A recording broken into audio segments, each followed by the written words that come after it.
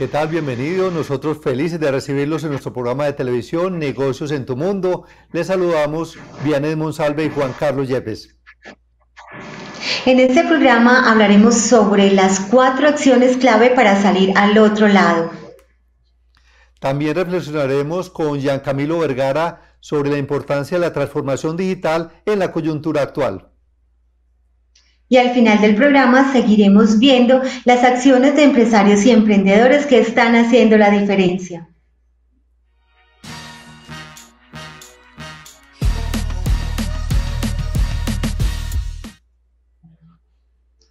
Cuatro acciones clave de las empresas y empresarios para enfrentar esta crisis actual es el tema central que trataremos hoy con Alexandro Bravo Bonino.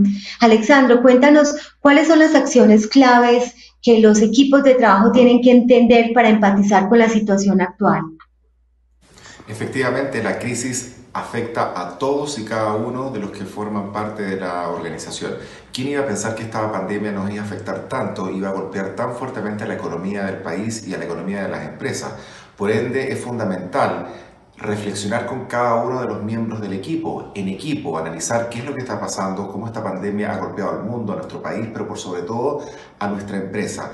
Y desde esa reflexión generar una visión compartida, un propósito en común, algo que como equipo nos permita alinearnos para empujar este barco hacia adelante. Las empresas son redes de conversaciones que coordinan acciones y si esas conversaciones que son coordinadas por personas, debemos entender también que son las propias personas las que llevan adelante los logros, los éxitos, pero también los fracasos. Es fundamental que en equipo nos sentemos y conversemos y juntos definamos una visión compartida, un compromiso, gestionemos la confianza y también la colaboración.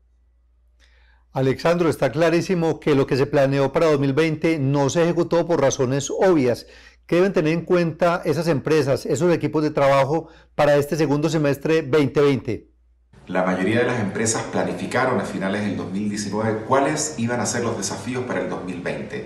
Nadie se esperaba esta pandemia, por ende llegó el momento de darnos cuenta que ese objetivo que definimos dentro de nuestro plan no va a poder llevarse a cabo. Por ende, aquí es donde hay que reformular el objetivo que tiene que ver con qué es lo que queremos lograr replantear la estrategia que tiene que ver con cómo lo vamos a lograr y elaborar un nuevo presupuesto que nos permita sostener esa estrategia para lograr el objetivo. Este consejo lo que busca es que las empresas entiendan de que aquel resultado que esperaban para el 2020 no lo van alcanzar. La operación del negocio bajó, las ventas se disminuyeron, está entrando menos dinero a nuestra empresa y por ende tenemos que replantearnos cuáles van a ser los desafíos para lo que resta del año. Por ende, un nuevo objetivo, una nueva estrategia para cumplir ese objetivo y un nuevo presupuesto ajustado para poder sobrellevar esta difícil realidad que estamos pasando.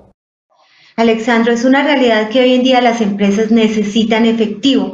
¿Cómo lograr tener un flujo de caja constante? Efectivamente, no hay ninguna posibilidad que una empresa pueda sobrevivir en esta crisis y en la post-pandemia si no tiene efectivo. Por ende, ¿cómo logramos efectivo? Bueno, quizás vamos a tener que mirar hacia atrás y ver si es que en nuestros inventarios tenemos productos. Y si tenemos productos, es necesario generar rotación. Rotar esos productos para que esos productos los transformemos en efectivo. Pero ¿cómo rotamos los productos? Si tenemos un producto que cuesta 100, su precio de venta es 100 y su costo de venta es 50, posiblemente vamos a tener que tomar una decisión de bajar el precio a 60 o posiblemente bajarlo al costo de venta. Cada empresa, dependiendo del sector o industria en la cual esté inmersa, va a tener que analizar financieramente hasta dónde va a tener que bajar ese precio, considerando que quizás ese producto no es de primera necesidad, pero tomando en cuenta que sí necesitamos efectivo y que no podemos seguir acumulando productos en nuestro inventario. Sé creativo y dale rotación a esos productos para generar efectivo para tu negocio. Alexandro, ¿cómo se pueden unir esfuerzos entre empresas para sobrellevar esta situación?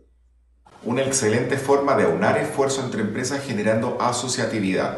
La asociatividad es un mecanismo de cooperación que permite que las empresas, cuando se unen, cuando se asocian, generen beneficios en común. Ejemplo, dos negocios del mismo sector, dos panaderías que compran por separado harina o quintales, al unirse tienen un poder de negociación que va a permitir tener y ocupar ese poder de negociación para poder negociar con el proveedor, por lo que dentro de esa asociatividad el beneficio va a ser poder conseguir un mejor margen en la compra o mejores condiciones de pago. Pero ¿qué pasa si son negocios de distintos sectores? Bueno, posiblemente van a poder generar una relación de asociatividad o de intercambio donde, por ejemplo, si yo tengo un estudio contable y mi, mi partner tiene una agencia de redes sociales, yo le puedo prestar mi servicio, él me puede prestar su servicio, generamos una asociatividad, pero además de eso, compartimos clientes.